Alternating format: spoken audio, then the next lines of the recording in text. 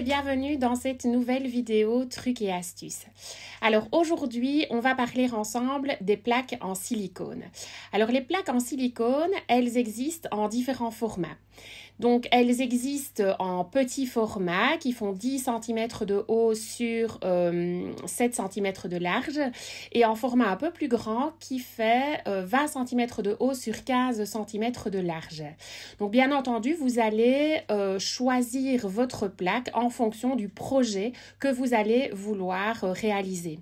Donc, nous ici, dans cette vidéo, on va vraiment se concentrer sur le travail de la plaque en silicone avec les d'icing, que ce soit sous forme de pad, que euh, aussi bien sous forme de pardon, que sous forme euh, de spray. Donc on va réaliser des fonds colorés le pad, vous allez l'utiliser bien entendu en combinaison avec de l'eau, tandis que le spray, on va plutôt l'utiliser simplement en vaporisation euh, seule. Mais l'un comme l'autre, vous allez voir que ça va donner vraiment de très très chouettes effets. Euh, on va pouvoir euh, le travailler aussi en combinaison avec différentes couleurs. Vous allez aussi pouvoir le travailler en l'un avec l'autre, l'un en combinaison avec l'autre. Tout cela en suivant différentes techniques. Donc à partir du moment où euh, vous avez envie de travailler avec les plaques en silicone, vous allez aussi avoir recours à la plaque à tamponner. En tout cas, moi, c'est vraiment euh, des, outils que j'utilise en combinaison l'un avec l'autre parce que je trouve ça vraiment très très pratique. Euh, maintenant, je vous expliquerai par la suite, bien entendu, il y a aussi d'autres façons de les utiliser. Mais ici, on va commencer d'abord par une petite démo où je vous montre l'utilisation euh, de l'un avec l'autre. Donc ici, j'ai d'abord euh, découpé, bien entendu, euh, une forme de papier que je vais colorer. Cette forme de papier, je vais la fixer avec du roulant collant repositionnable, de façon à ne pas avoir de traces de papier collant repositionnable sur le pourtour, et tout simplement pour qu'elle se maintienne bien. Cette, cette forme de papier, je la place, je la place, pardon, pas je la plaque, sur la, hum, sur la feuille quadrillée. Et là, même, je vais mettre des petits repères, tout simplement de façon à pouvoir la repositionner facilement. Vous voyez qu'en dessous, on a le mousse. Donc, cette feuille quadrillée va pouvoir euh, protéger euh, ce mousse de façon à ce qu'il ne soit pas euh, sali. Et donc, ça va nous permettre aussi de prendre nos repères si on veut travailler plusieurs papiers les uns à la suite des autres sans décoller cette fameuse plaque en silicone. Vous voyez que je viens fixer euh, sur la plaque euh, en plexi de la plaque à tamponner. Donc là, ma plaque en silicone est fixée. Je vais pouvoir y apposer ma couleur. Donc je vais d'abord travailler avec un, encreur d'icing. Donc je tapote l'encreur sur euh, la plaque en silicone de façon à transférer la matière. Alors on peut très bien ne travailler qu'uniquement avec euh, que de l'encre, mais ici je vous propose de vous faire une démo avec déjà un mélange euh, d'eau. Donc on pulvérise de l'eau sur la matière préalablement déposée. Bien entendu, le résultat va être différent si on met plus ou moins d'encre et plus ou moins d'eau, fatalement. Ça, vous savez bien que les paramètres vont donner des résultats différents. Ici, j'appuie vraiment tout, tout légèrement. Et voilà le résultat que ça donne. Voyez, c'est vraiment tout léger. J'ai appuyé plus dans le bas, euh, sur le bas du papier, volontairement. Maintenant, Là aussi, c'est un paramètre important. Si vous appuyez un peu plus fort, un peu plus de façon uniforme, eh bien, vous allez encore avoir un résultat complètement différent. Vous voyez qu'ici, on a plus de matière déposée. Mais voilà, c'est une, façon de faire. Ici, voilà par exemple trois papiers que je vous avais préalablement euh, déjà euh, travaillés. Vous voyez que plus ou moins de matière, appuyer plus ou moins fort, eh bien, on a un résultat qui est quand même fort, fort différent. Entre ces deux papiers, d'ailleurs, j'ai simplement réutilisé ce qu'il me restait sur la plaque euh, en silicone. Vous avez toujours des résidus comme vous le voyez là. Eh bien, ici, vous pouvez tout simplement enlever le papier, remettre un papier euh, différent à la place du premier papier initialement travaillé et vous aurez euh, un résultat beaucoup plus léger et aucun déchet étant donné que vous allez vraiment récupérer toute la matière ici, euh, comme vous le voyez sur le papier de droite. Donc voilà encore une façon euh, différente de travailler. Et bien entendu, euh, ça va dépendre aussi de ce que vous avez envie euh, d'obtenir en résultat final par rapport à votre composition, par exemple. Une fois que vous avez fini, vous allez pouvoir détacher euh, votre papier de façon à pouvoir le laisser sécher bien tranquillement sur le côté. C'est exactement le même principe quand vous voudrez travailler avec euh, de l'encre sous forme de spray. Au lieu de tapoter l'encreur, vous allez vaporiser l'encre sur la plaque en silicone et vous allez transférer euh, cette matière vaporisée sur votre papier. Bien entendu, si vous vaporisez de plus près, de plus loin, si vous déposez plus ou moins de matière, vous allez avoir des résultats différents. Vous pouvez aussi ajouter de l'eau si vous voulez diluer la matière et avoir un résultat un peu moins prononcé, un peu dans, ce, cet esprit-là. Ici, on a vraiment appuyé très très légèrement pour avoir ces, gouttes, ces gouttelettes qui sont déposées sur le papier et euh, qui donnent un effet un petit peu différent des premiers modèles que, que je vous avais proposé. Alors, on peut aussi, bien entendu, travailler avec un encreur classique. Ici, c'est la couleur caramel. Donc, Qu'est-ce que j'ai fait? Eh bien, je l'ai appliqué de la même façon sur le papier, sur la plaque, pardon, pas directement sur le papier, sur la plaque en silicone. Et puis par transfert, voilà euh, le résultat que ça donne. Donc là aussi, on a la, la matière qui est beaucoup plus uniforme. On n'est pas sur la même matière, on est sur de l'encre classique. On n'est pas sur de l'encre qu'on va mélanger avec euh, de l'eau. Donc le résultat va être complètement différent. Mais le résultat sera différent aussi si vous rajoutez plus ou moins d'encre. Ici, vous voyez sur la forme de gauche, on l'a retravaillé par la suite. sur la forme de droite, pardon. On l'a retravaillé par la suite on est venu ombrer le papier toujours avec l'encre, mais appliqué avec une, brosse, de façon à pouvoir accentuer la couleur sur le bord. Donc là, on a un effet un peu vintage au centre du papier et sur le bord, on a euh, un effet un peu plus prononcé. Donc là aussi, il faut aussi se dire, voilà, le, le premier résultat, c'est une chose, mais une fois qu'on retravaille légèrement, parce qu'ici, c'est vraiment tout légèrement le papier dans un deuxième temps, on a encore un résultat complètement différent. Sachez aussi qu'une fois que vous avez tapoté une fois, si vous n'êtes pas satisfait du résultat, vous pouvez encore réintroduire de la matière, recommencer l'étape une deuxième fois et réappuyer. Et là, vous aurez plus de matière euh, qui sera déposée. Donc voilà, ça c'est aussi euh, une possibilité vu que votre plaque est fixée, euh, votre plaque en silicone est fixée à, à votre plaque à tamponner, eh bien vous pouvez répéter l'opération une deuxième fois si nécessaire.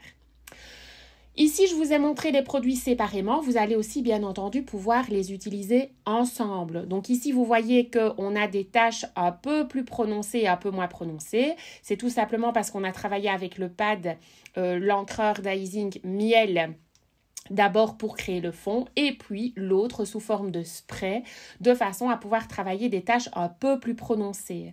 Donc là aussi, on peut avoir un double effet euh, en travaillant de façon euh, superposée. Donc j'ai d'abord travaillé avec le miel, ensuite j'ai travaillé avec euh, le spray. Donc vous pouvez très bien attendre et voir ce que ça donne une fois que c'est sec, mais vous pouvez aussi travailler simultanément. L'encre d'icing shiny, c'est le même principe, mais là, on a de la couleur nacrée qui est venue euh, se mélanger et automatiquement, vous allez avoir un jet qui sera beaucoup plus prononcé, qui sera moins diffus, un peu dans ce style-là. Vous allez vraiment avoir plus une forme de tache sur votre plaque euh, en silicone. Comme ici, je l'ai eu. Pourquoi? Puisque j'ai approché très fort mon spray euh, du papier. Eh bien, ça peut être, ça peut avoir un côté très très sympa, ce forme de cette forme de tache plus prononcée. C'est ce que vous aurez avec le, le spray d'Icing Shiny, étant donné que la matière est plus concentrée. Et donc, automatiquement, vous aurez plus une forme de tache. Alors, comment est-ce que j'ai fait pour avoir cet effet-ci? Eh bien, j'avais pas envie d'avoir justement cette forme de tache cette fois-ci. Et j'ai tout simplement répandu la matière sur la plaque en silicone avec un petit outil qui n'est vraiment pas compliqué à utiliser. C'est l'applicateur mousse comme ceci. Donc, en tapotant sur la tache qui a été déposée sur la plaque en silicone, j'ai simplement répandu la matière différemment sur euh, le papier sur la plaque en silicone avant de transférer la matière. Et voilà encore un résultat différent euh, et, tout aussi sympa. Donc voilà, quand vous rencontrez un petit, une petite situation qui pourrait vous sembler problématique au départ, eh bien il y a toujours une solution, il y a toujours un outil qui va vous permettre euh, d'obtenir un autre effet que celui que vous aviez euh, au départ et qui, vous, qui aurait pu vous poser problème. Voilà, une petite astuce supplémentaire. Vous allez aussi pouvoir avoir ce problème si vous avez envie d'utiliser euh, de la couleur dorée. Alors ici, j'ai utilisé la couleur dorée et j'ai de nouveau répandu la matière, mais je l'ai répandue de façon un petit peu différente.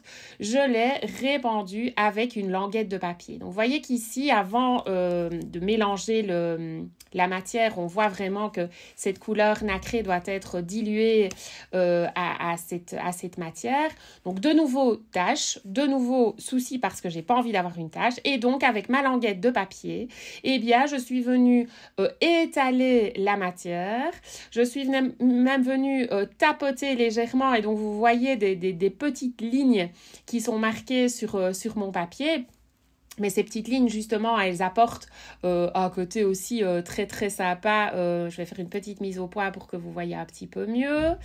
Voilà, ça se voit un peu mieux. Donc, vous voyez ces petites, euh, lignes tachetées euh, sur le papier qui apportent encore un côté euh, différent à la plat, un côté qui peut être très, très sympa aussi. Voilà, tout ça grâce à ce petit bout de papier qui m'a permis d'étendre la couleur de façon un petit peu différente. Donc, voilà, ça, c'est pour toutes les couleurs qui sont mélangées, qui sont nacrées et donc qui sont un petit peu plus capricieuses au niveau de la pulvérisation.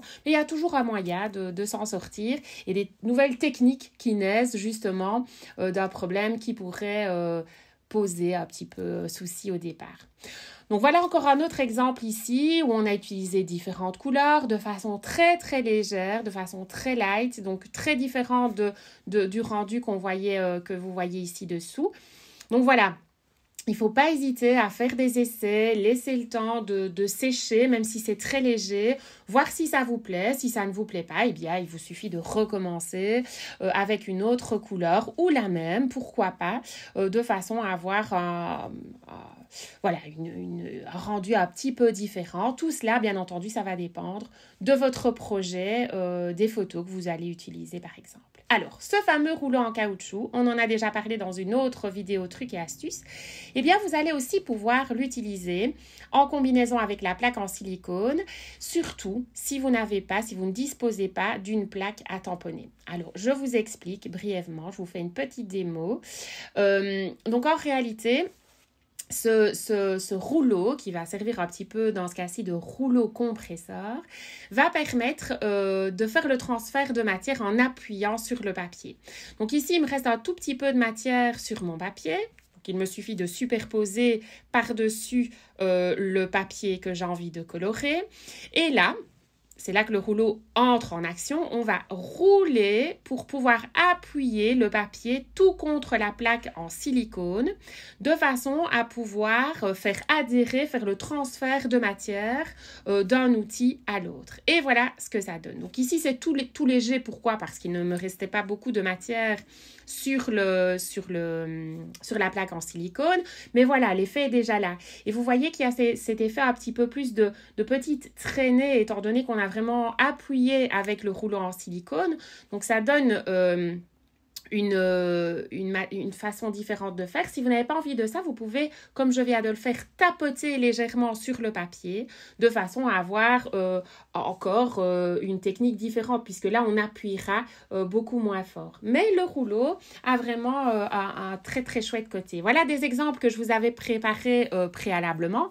Vous voyez qu'ici, sur le premier, on a beaucoup de matière et on a cette, cette traînée qui est vraiment bien, bien, bien, bien prononcée avec fatalement euh, des nuances quand même de, de couleurs vis-à-vis de l'eau qui a été déposée. Et là, vous avez des résultats un, petit peu plus soft, euh, même si euh, la, couleur est toujours bien, bien présente. Et ça, c'est tout simplement puisque j'ai gardé le, même, la même la même, euh, la même base de départ, mais je suis venue chaque fois ajouter un papier différent pour pouvoir venir retirer la matière. Alors, tant qu'on est euh, sur cette petite technique-là avec le rouleau, tant qu'on est dans cette couleur verte, j'ai une autre petite astuce à vous montrer. Vous voyez qu'ici, j'ai appliqué un petit peu de foil sur ma surface que j'avais préalablement travaillé avec les encres d'icing et la plaque en silicone.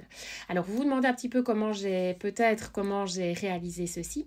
Eh bien j'ai tout simplement profité du fait qu'il me restait de la matière fatalement qui n'était pas sèche puisque quand vous allez réaliser votre tâche la matière n'est pas sèche.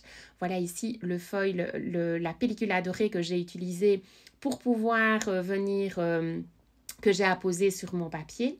Et donc, en réalité, euh, j'ai d'abord... Euh, Contrairement à toutes les autres fois où j'ai laissé sécher euh, la matière, ici j'ai profité du fait que euh, la matière était toujours euh, humide de façon à venir y appliquer un autre produit qui est la bonding powder. Donc c'est une poudre qui va bien entendu adhérer aux parties qui sont humides, vu qu'elle va s'accrocher, c'est une poudre toute toute fine qui va s'accrocher à l'humidité encore présente.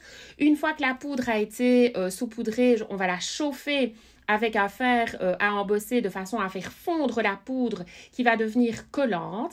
Et par la suite, quand la poudre est toujours collante et chaude, euh, on va venir y apposer la pellicule euh, adorée. On va appuyer de façon bien laisser la couleur sur le dessus, à la couleur qui va s'appliquer. On va appuyer convenablement pour la faire adhérer à cette matière collante. Et une fois que vous retirez la pellicule adorée, eh bien, il y aura à certains endroits cette pellicule qui sera restée attachée à la couleur. Donc voilà, c'est une petite euh, façon différente de travailler, une petite technique supplémentaire pour venir euh, ajouter cette matière un peu brillante euh, sur, le, sur les taches de couleur qui va apporter un petit côté, un petit coup d'éclat. Euh, aux, tâches. Donc voilà, c'est une façon un petit peu différente de travailler, surtout un prolongement du travail euh, déjà euh, opéré avec les, les formes de papier. Alors ici, on a bien entendu tout à l'heure déjà parlé de la de, l'ombrage des papiers. N'hésitez pas, bien entendu, à venir retravailler avec des encres d'icing, avec de la craie, de façon à pouvoir venir soit atténuer les taches si vous voulez qu'elles soient un petit peu moins, moins prononcées, ou tout simplement venir apporter un petit côté différent euh, aux aplats qui ont été, euh, qui ont été travaillés. Donc vous voyez qu'ici sur la gauche, euh, j'ai travaillé avec l'encre d'Izing. Alors que sur la droite, j'ai travaillé avec la craie. J'ai travaillé pardon, à chaque fois avec du papier collant repositionnable. Donc pour partir d'une base et chasser la matière sur le côté, on a un rendu qui est différent. Vous voyez que euh, sur la, la, droite, la craie, bah, automatiquement, on a euh, ce, la, trame du papier qui ressort un peu plus. Malgré ça, j'ai quand même voulu retravailler un tout petit peu avec de l'encre d'icing tout contre le bord, de façon à pouvoir avoir ce fondu que vous voyez sur la gauche euh, et cette, cette, ligne bien, bien marquée que la, que la craie n'apporte pas toujours. Vous avez vraiment une démarcation qui est beaucoup plus nette avec l'encre d'icing qu'avec la craie. Donc il faut vraiment pas évidemment euh, hésiter à combiner les deux et d'abord déposer une base de, de craie et puis retravailler avec l'encre d'icing ou inversement, bien entendu, mélanger les matières, mélanger les techniques de façon à avoir euh, un support qui soit vraiment euh, fidèle à ce que vous avez envie d'obtenir. Alors ici, voilà encore euh, une technique un peu différente. Qu'est-ce qu'on a fait ici? Eh bien, on a travaillé avec de la texture. On est venu apposer de la texture par-dessus euh, les, tâches qu'on avait préalablement travaillées avec l'encre d'icing réglisse. Donc ici, on a une base qui est créée, mais ce n'est pas pour ça qu'on ne peut pas venir retravailler des motifs, comme par exemple de la texture, par-dessus une fois que l'encre, bien entendu, est sèche. Là, j'ai travaillé avec euh, de l'encre d'icing réglisse appliquée avec un une brosse pour encre et euh, on a cette, cette, texture qui va se déposer en dégradé parce que c'est toujours plus joli que qui est vraiment un dégradé bien marqué euh, de façon euh, à pouvoir apporter une petite touche différente à cet aplat de, de, couleur qui a été, qui a été préalablement marqué. bien entendu cette forme de papier craft je l'ai déposé sur du papier noir je suis venue appliquer à un ruban pailleté par-dessus. Donc voilà, c'est toutes ces petites choses qu'on va euh, glisser par-dessous, par-dessus, qui va encore apporter euh, un côté très très différent à la base de départ qu'on a travaillé avec ces taches euh, d'encre réalisées grâce à notre plaque à tamponner. Ici aussi, remarquez que j'ai travaillé avec un, un papier craft, alors qu'à la base, tous les modèles que je vous ai présentés étaient travaillés avec du papier naturel comme base. Et ça, automatiquement, ça apporte aussi un côté, euh, un côté différent. Donc n'hésitez pas à travailler directement avec une base colorée en fonction du projet que vous avez envie de travailler. Alors voilà encore un autre modèle où là, euh, on a travaillé aussi sur du craft, mais on a une tâche, vraiment une tâche beaucoup plus prononcée, beaucoup plus grande, beaucoup plus imposante qui a été euh, appliquée grâce à la plaque en silicone. Alors ces tâches, eh bien, euh, on a voulu un petit peu casser cet aplat de, de tâches en venant apposer quelque chose par-dessus. Et ce quelque chose, en fait, c'est tout simplement de la peinture pailletée qu'on est venu appliquer euh, plus sous forme de, bah, de taches aussi en réalité. Elle traverse toutes ces taches noires euh, en venant euh, apporter un côté brillant, scintillant, mais aussi du relief, étant donné qu'on a déposé un peu plus de matière et on a fatalement ce relief qui est aussi bien bien présent sur la tâche et qui va vraiment donner vie à petit coup d'éclat, à petit coup de lumière à cette tâche.